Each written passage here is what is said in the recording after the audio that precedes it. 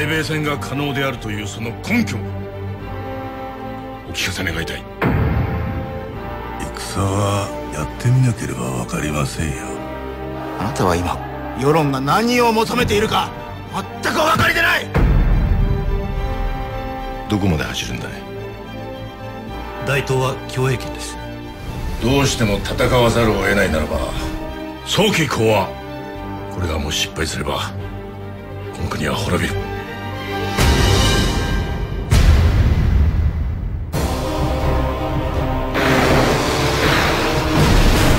より伝聞赤城加賀総龍被弾炎上中。このままじゃ帝国海軍は松代まで舐められるぞ。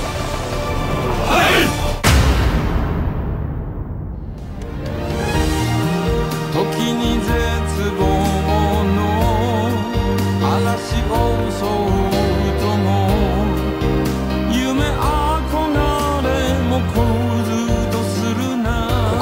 めに戦争を避けようとしたんにめっちゃ過酷なもんじゃ。